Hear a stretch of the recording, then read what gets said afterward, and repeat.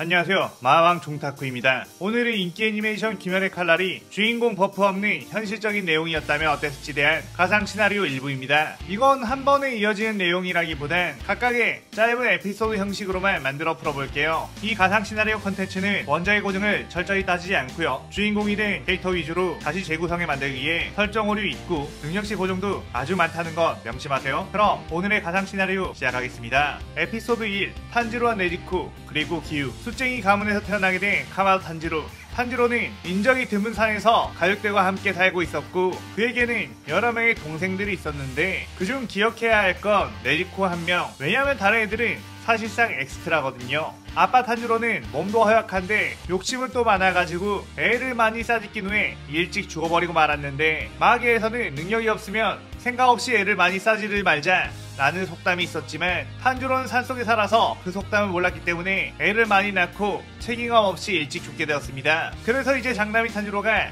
사실상 독박벌이라는데 남들의 학교 갈 나이에 추운 겨울에 손 호호 불어가면서 나무를 패고 숯을 만들어 마을에 내려가 팔기까지 해야 했죠. 아 족발 장남으로 태어난 게 죄냐? 독박벌이 개 같네 라고 생각하면서 오늘도 무거운 숯 보따리를 등에 이고 마을로 내려가게 된 탄지로 탄지로는 마을에 가서 숯을 파는데 자신의 또래 아이들이 함께 모여 놀고 있는 모습. 음식점에서 가족끼리 맛있는 거 먹는 모습을 보고 현타가 씨게 왔습니다. 아 안되겠다. 엄마한테 이제 산속에서 그만 살고 이 마을로 내려와서 살자고 하자 라고 생각한 탄지로.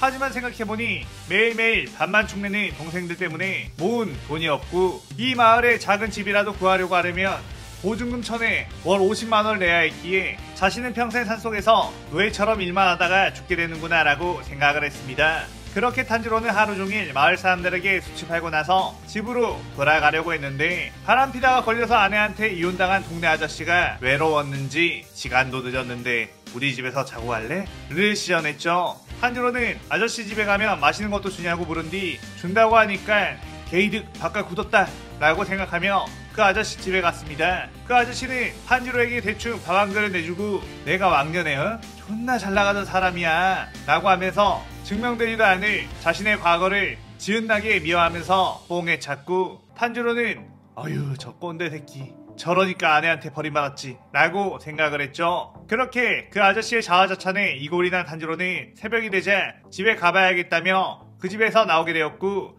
나는 절대로 저런 꼰대가 되지 않아야겠다. 라고 다짐하며 산을 오르게 되었습니다. 그런데 집에 가까이 가보니 피냄새가 났고 탄지로는 어? 엄마가 설마 일하고 온 나를 위해 닭이라도 잡으셨나? 오늘은 백숙 먹는 날인가? 라고 하며 신나게 뛰어들어갔죠. 그런데 탄지로의 눈앞에 펼쳐진 건 바로 피 흘리고 죽어있는 가족들의 모습.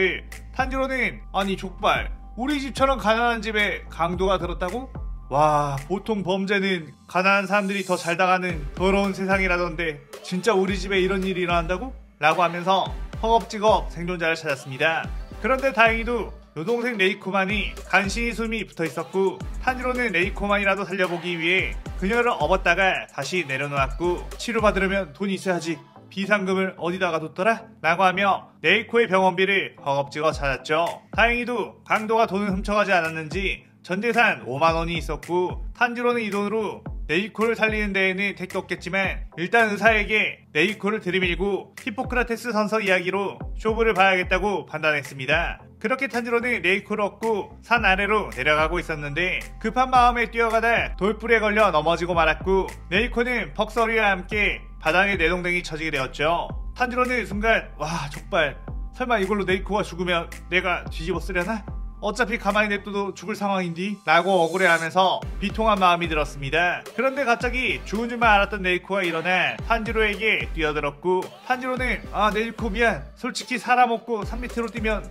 넘어질 수도 있지 안 그래? 라고 했지만 네지코는 엄청나게 화난 얼굴로 탄지로를 공격했고 탄지로는 겨우 자신의 허리춤에 있던 도끼로 네지코의 날카로운 깨물기 공격을 막았죠. 탄지로는 네이코가 손톱으로도 막 여기저기 긁어피가 나자 갑자기 계열받았고 평소에도 네이코와 탄지로는 현실 남매답게 치고받고를 자주 했기에 이게 오빠한테 또 대들어? 라고 하며 그녀를 걷어찼습니다. 그렇게 바닥으로 널브러진 네지코 탄지로는 순간 네지코가 다친 상태였다는 걸 깨닫고 아 오빠가 좀 심했지? 미안. 대신에 맛있는 거 사줄 테니까 엄마한테 이러지 마 라고 했는데 순간 엄마는 이미 돌아가신 상태라는 걸 깨닫고 다시 절망감이 찾아왔죠.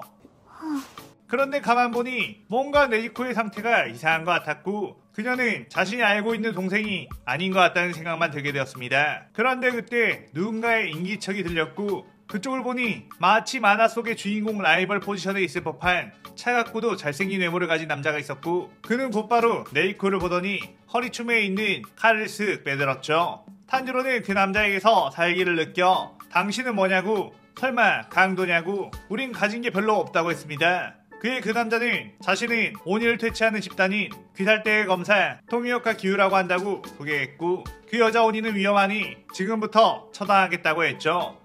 탄지로는 온이라는 말에 깜짝 놀라 네이코의 상태를 다시 봤고 정말 이 남자의 말대로 동생이 온이로 변해버렸다는 걸 깨달았습니다. 하지만 탄지로는 동생을 포기할 수 없었고 이 남자에게 죽임을 당하게 해서는 안 된다는 생각에 그를 막아섰죠. 기우는 이게 지금 무슨 짓이냐고 묻자 탄지로는 이 아이는 내 동생이고 지금껏 사람을 해친 적도 없을 뿐더러 앞으로도 해치지 않을 테니 제발 죽이지 말아달라고 했습니다. 기우는 미래의 일을 확신한 녀석은 전부 사기꾼이라고 막의 비록에 쓰여져 있었다. 오니가 인간을 공격하지 않는 경우는 못 봤어.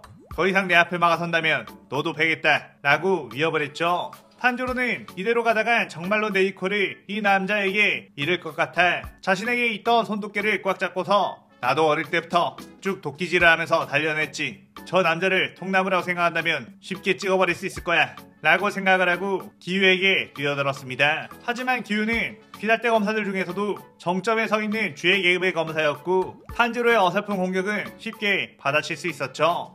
귀살대 검사들은 사실 비공식 단체인데다가 오니에 대한 증오에 눈이 먼 인간들이라 오니를 죽이려 할 때 방해하는 인간들이 있으면 자신들만의 규율을 말하며 그 인간들도 베어버리기 일쑤였는데 기유는 그래도 동생이 오니가 된 탄지로의 마음을 어느 정도 공감하며 그를 죽이지 않고 기절만 시키려고 했습니다. 기유는 그뒤 속으로 다들 나에게 사회성이 떨어진다더니 다들 나를 미워한다더니 하지만 난 사실 이렇게 융통성이 있는 사람이지 라고 흡족해 했죠. 그런데 그 순간 네즈코가 갑자기 탄지로 쪽으로 뛰어갔고 기유는 이대로 놔두면 오니에게 탄지로가 당하게 될 거라는 생각을 했습니다. 오니가 된 가족에게 죽임을 당하는 건 너무나도 끔찍한 일.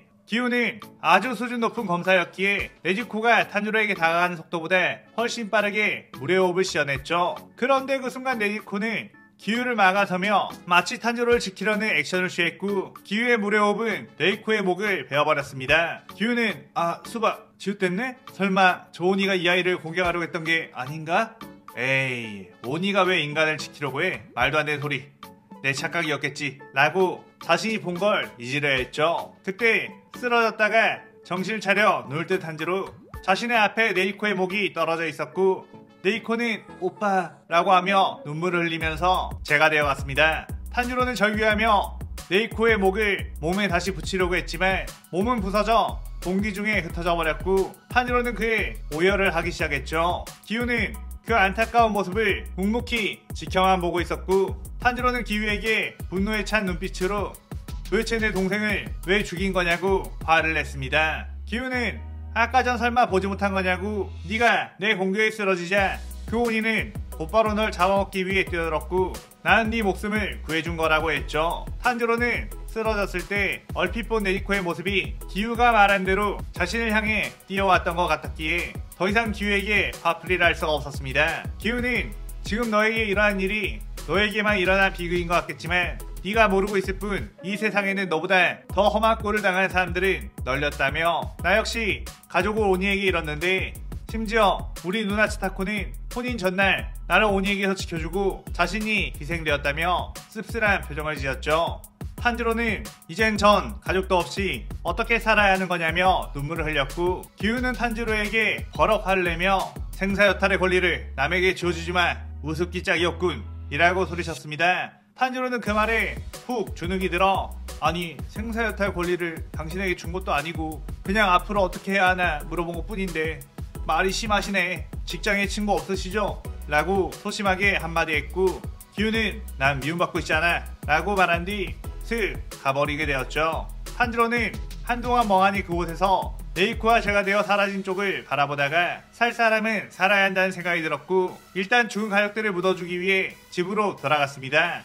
탄이로는 항상 시끌벅적했던 가족들의 기억을 되새기다가 또다시 울컥 눈물이 흘렀고 만약 네이코가 살아있었다면 나도 기살대 검사라는 게 되어 네이코를 인간으로 되돌릴 방법을 찾았을 텐데 라고 생각하며 이 에피소드가 끝이 나게 되죠. 오늘은 가장 초반부 스토리를 마왕님의 시선에 맞게 각색을 해봤는데 이런 느낌의 시나리오가 재밌다면 댓글로 남겨주세요. 그럼 뭐 다음번에도 다른 에피소드를 만들어 볼 수도 있고 뭐 반응 없으면 안 만들고 어쨌든 오늘의 망소리는 여기까지 마왕의 진정한 각성을 위해 좋아요 구독 잊지 마세요 오늘 영상 즐겁게 보셨다면 구독, 좋아요, 알림 설정 누른 거 잊지 마시고요. 그럼 오늘은 이만 사요나라 사요나라